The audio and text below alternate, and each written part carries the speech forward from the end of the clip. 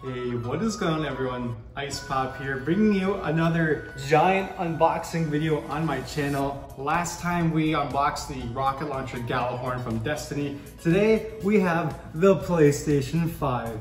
I've been waiting a long time to get my hands on this console. I'm sure many of you have as well, or maybe still are. So last night I was out at dinner with my family and one of my buddies texted me saying, bro, there's one more PS5 at Target. Do you want it? And I was like, um, yes. So I've been waiting this whole time, waiting to see if there was gonna be a Spider-Man limited edition version of the PlayStation 5 or maybe a Slim or a Pro, just because it's been out for a while.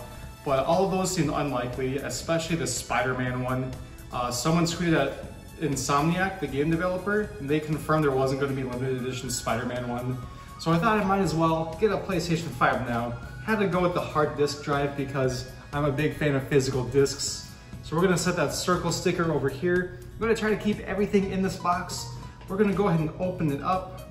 Change of plans, see if I can do this one-handed while holding my camera. Opening it for the first time. Oh, that's kind of cool. It all folds up like that. This is the little handle that I gotta carry it out of the store or, oh, I might have to slide the whole thing out. I think this is just a shell. Hang on, everybody. So I'm a really big fan of boxes, so I'm gonna try to be very careful with this. I wanna display it in my room one day or wherever, I'm not too sure. I wanna have an entertainment center eventually where I got my PS3 box. I don't know if I have my PS2 in anymore. Definitely don't have a PS1 box, but I do have a PS1. I got like two PS4 ones because I got a launch day PS4 and I was one of those who had the blue screen of death, if you know what that is. Sorry. or if you've never experienced it, then good for you, you had a good PlayStation. They had issues at the beginning. But looking right now, there's a PlayStation logo on the top. I'll go ahead and grab the camera in just a moment. Yeah, I'm just gently gonna keep this on the floor. It is just a shell. This appears to be the big shebang, the PlayStation logo. With the handle being here, I wanna say, okay, so there's a little spot right here, little tab, just carefully slide out. Again, I'm a collector, I wanna keep all this in good shape. Looks like we're just gonna have to slightly lift something out and then pull out yet another sleeve. I'm glad they're being very protective with this $500 game console. Really appreciate that. So I'm gonna actually move my camera back so you can see the sliding out stuff. Lots of camera work for this one. So we got yet another sleeve to pull out. Looks like there's a tab. Actually, that just might lift right out. Let me go ahead and turn this so you can see. Gonna pull on this tab. Looks like this whole unit should come out. Oh, there's just stuff on the top. So off the get-go, we have a PlayStation Quick Start manual. All this stuff, if you want to read how to, you know, safety guide. And looking further, we have what appears to be the part of the power cable. It's just missing the brick right there on the top. And then, oh, right away, we got the DualSense controller. Now for a better perspective of taking this out of this nice wrapping, a nice, clean, brand new DualSense. Let me know what you think of the look in the comments below. Honestly, I kind of thought this was a weird look, holding it. I have some buddies who have PlayStation 5s, but I've never really like held a controller like this before. It doesn't feel as like, I thought these like pieces stood out a lot more than they really do. I probably shouldn't have pressed that button. it's gonna look for a PlayStation 5 that isn't actually on yet. The buttons have like this like in depth, it might be hard to come up on camera. Instead of like something on the top layer, it's like glossy and then the face button like decal is like underneath. So it's got this really cool 3D depth looking button layout. Feels pretty good, feels a bit different from the DualShock 4 that I'm so used to over all these years. Triggers feel nice. These are apparently um, designed to have like resistance and stuff when you game. And shoulder buttons are just, just clicky like normal. Good clicks there. Yeah, pretty solid. And it's got a headphone port at the bottom. And then this is the back of the controller. Not too bad. Setting all that off to the side, let's see what else we got in this box. Looks like when we lift this up, I'm guessing the console should show up pretty soon. Maybe I should just try sliding all of this out all at once. Is there anything else? Oh, there actually is. Underneath this flap where some of the stuff was, like the paperwork, I think this is the PlayStation stand itself. So I take it out of the sleeve here.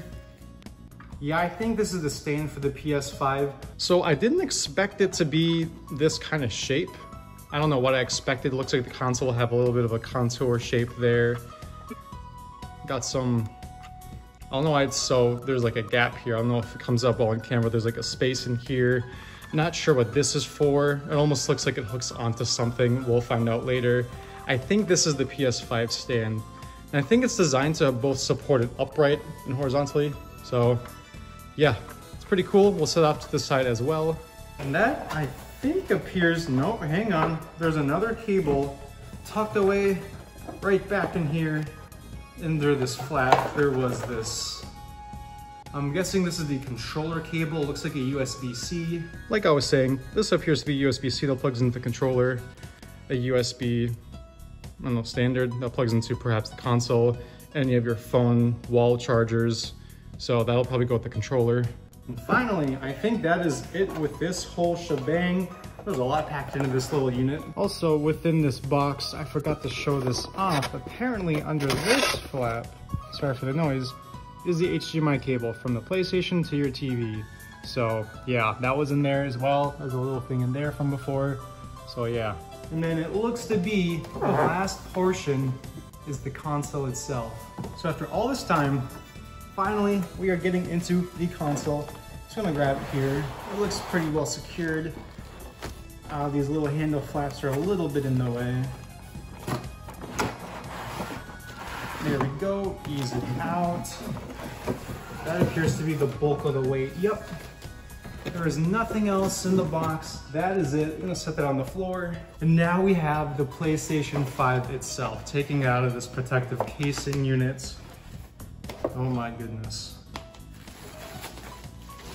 We're just gonna unfold it a little bit like a Christmas present. Pretty awesome. Yeah, this is super well wrapped. They wanted to make sure there was no scratches, make sure there's no bumps and bruises in transportation. And there we have it. The PlayStation 5, the disc version, the not symmetrical version, but the kind you can play physical games, you can borrow buy used ones from game stores. That looks awesome. I'll go ahead and grab my camera and change the view in just a moment. Wow. I really like the indentation of the PlayStation logo right there. That's pretty neat. Um, but yeah, I'll get you a better view of this in just a moment. Like I said, we got the disc version. I think that's so much better than digital. If you have a PlayStation 5, let me know also. Lots of questions in the comments below. Let me know which version you have. I am always a physical disc person. I have a lot of game stuff I have on my channel, retro review, lots of videos where I like the games. I don't want to be limited to a digital only version, but it looks like all the plugs are just in the back of the console. Pretty standard, assume that would be the case. There's the top of the glossy clean console, and then this side casing as well. Honestly, I wasn't the biggest fan of the look at the PS5. I think after just purchasing it, I kind of like it more, but still not the biggest fan of the look. Looks kind of cool. Looks like if Back to the Future made a futuristic console, this is what it would look like, to be honest. But I think it's pretty cool. Let me know what you think of the PlayStation 5 design in the comments below. And if you have one, what version you have. And if you're looking for one, what one you would like. All right, everyone, there we have it. That has been the unboxing of the PlayStation 5. Thank you all so much for watching. Hope to see you in another video.